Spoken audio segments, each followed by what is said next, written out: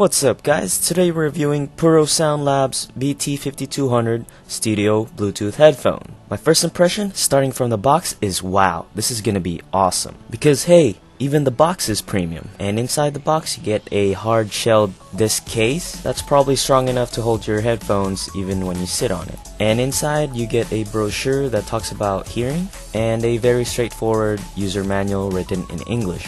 You also get a USB to micro USB charger, a super slim 3.5mm headphone jack, and a super sleek durable headphone.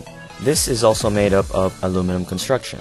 On the left side you'd find the mic, the on and off button, also the play, the on and off button, the plus or minus volume, which is also used for the skipping tracks, the 3.5 jack, and the micro USB charger.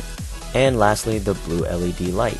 If I were to compare this with the Beats wireless headphones, um, this would be the better option because of the aluminum design. It's actually so much better, it feels much more comfortable, and with this type of construction, I think this will last a very, very long time. The style is simple, it's very slim, it's very lightweight, and more importantly, the sound is pretty good, comparable to those high-end Bose headphones. It may be a little bit expensive, but I would still recommend it. And that's it for my review guys. Until next time, have a nice day.